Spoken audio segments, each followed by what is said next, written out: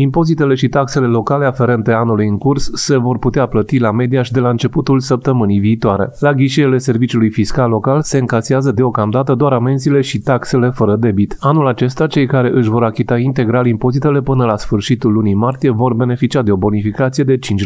În ceea ce privește cuantumul impozitelor și taxelor locale, acestea nu se vor majora comparativ cu anul trecut. Singura modificare ce se va face se referă la actualizarea cu rata inflației, măsură prevăzută de codul fiscal. Prima Prima zi de încasare a impozitelor și taxelor locale aferente anului 2023 la Mediaș va fi 10 ianuarie. Până la această dată se vor putea achita doar amenziile și alte taxe fără debit, iar ulterior datei menționate se vor putea plăti și restanțele de anul trecut.